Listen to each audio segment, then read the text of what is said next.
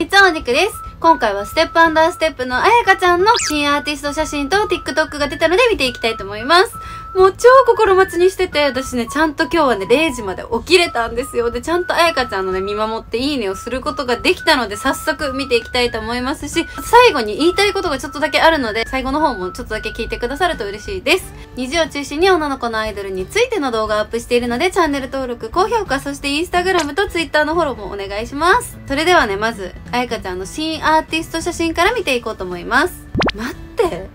あやかちゃんさ、マジで大人になったな。待って。なんか最初の頃の自信がなさそうなあやかちゃんと違いすぎて、これ本当にびっくりなんだけど、てかめっちゃ美しいんだけど、なんかあやかちゃんも私天使天使とか言ってて、すごい可愛らしいイメージがいつまでもあったのに、このあやかちゃん見たらなんならちょっとなんか色気まで感じて、あや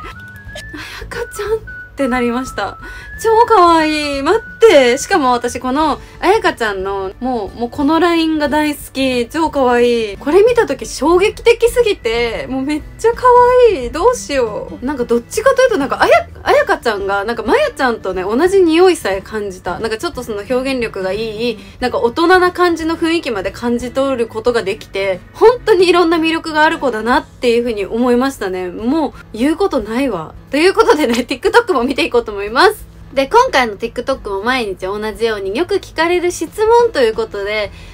なんだろうあやかちゃんがよく聞かれることってなんだろうと思ってね、見ていきたいと思います。あ、お姉ちゃんいるよね。パンチョコ辛いもの？あ、ピーチ？えー、え、待って。ちょっと待って待って待って待って。ちょっと私どうしても言いたいことがあって、一個ずつ止めて言わせてください。え？待って。まあ、このね、お姉ちゃんが一人いることはね、皆さんご存知なように、日プロジェクトでもね、出ていたので、すごい可愛いね、お姉ちゃんがいるということで、やっぱね、姉妹だね。私これ、すごいツイッターで見て思ったことがあったんですよ。ツイッターで誰の意見か忘れちゃったんですけど、すごい思ったことがあって、このなんか、好きな食べ物のところを取り上げてる方がいらっしゃって、パン、チョコ、辛いものって書いてるじゃないですか。あやかちゃんってピザのピンバッジ作ってたじゃないですか。あれ？あやかちゃんピザが好きなんじゃないのかなっていうコメントを見て、え、確かにと思って、なんかそこがあやかちゃんらしいなっていうか、すごい私ピザが好きだからピザをあの、ピンバッジ、自分の書いたグッズのピンバッジにしてたのかなっていうふうに思ったんですけど、なんかちょっと違ったみたいで、めっちゃあやかちゃんワールドだなと思って、そこもね、めっちゃ可愛いなっていうふうに思いました。そして、あ、ピーチこれはね、カカオフレンズのボンコのカこのキャラクターですね。このね、キャラクター私も大好きです。てか、カカオフレンズが超可愛くて、なんか、このアピーチも、なんか、あやかちゃんにぴったりのね、まあ、ちょっと目はね、なんか睨んでる感じで面白いんですけど、結構みんなそのカカオフレンズのキャラクターは、なんかちょっと味があるようなキャラクターがいっぱいあって、で、その中でもね、アピーチが好きっていうことでね、可愛い。はい、可愛いですね。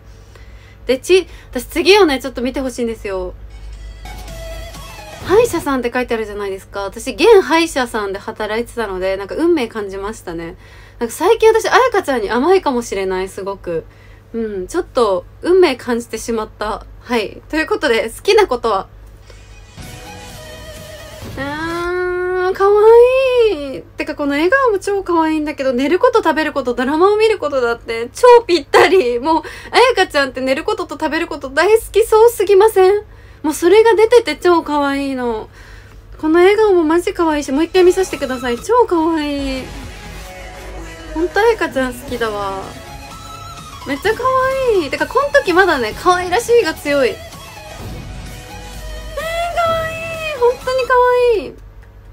なんか、あやかちゃん見てると、可愛いねって言いたくなるの。ほんと言いたくなるんですよ。ああ、もうあやかちゃんほんと天才だよって言いたくなる可愛さを持っていて、はぁ 毎回この、はぁっていうのになってる気がするんですけど、あやかちゃん本当に可愛いですね。ありがとうございます。本日も本当可愛かった。ということで、明日はりくちゃん。りくちゃんか。私の大好きなりくちゃんが来るということで、もうすごい今から楽しみが止まらないですし、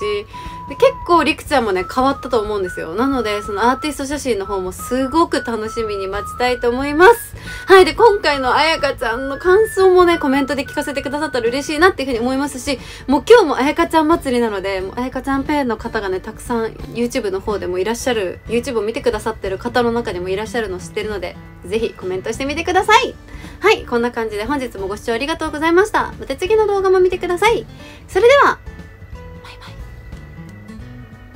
はい、今日はね、あやかちゃんについてだったんですけど、一つだけね、言いたいということがあって、なんか昨日私が20のメイキングブックを買えなかったっていうことを書いたんですけど、そしたら結構、なんかインスタの方でなんか開封しちゃったんですけど、定価で譲りますよみたいな感じで何人かから連絡をね、結構いただいたんですよ。うーん、そうですね。ちょっと私がなんか今、支所箱みたいなのを設けていないし、振り込みもね、関係してることなので、ちょっとね、うん、メルカリでもね、売るよみたいな感じで言われたんですけど、実は私メルカリのアカウントはもうなくって、うん、自分で買えなかったからもうしょうがないなと思って今回は諦めたのでなんかご連絡をいただいた方には申し訳ないんですけど、うん、ネイキングフォトブックは諦めます。謝罪動画を出したのでそうやって言っていただけたのかなっていうふうにも思ったんですけどちょっと諦めます。ごめんなさい。ということでそれだけねお伝えしたかったなっていうのと、ま、連絡が他にも来てたのでちょっと告知というかあれなんですけどそのフ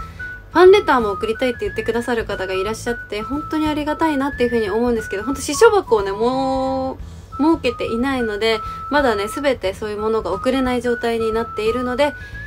まだでも私に必要かなっていうふうに正直思っていてもうちょっとこのチャンネル自身が大きくなったらそういうことを考える時が来るのかもしれないんですけど現時点ではね全然そういうことはまだ考えていないのでまたもしねそうなることがあったら動画とかで告知できたらいいかなっていうふうに思うのでよかったらねお待ちくださると嬉しいです。もうコメントだけでね私本当に嬉しいんですよ。いつも動画を見てくださってコメントをしてくださるだけで本当にありがたいし今回招いたのも自分のミスなので本当にそうですね申し訳ないなっていう気を使わせてしまってという感じです。本当にすいません。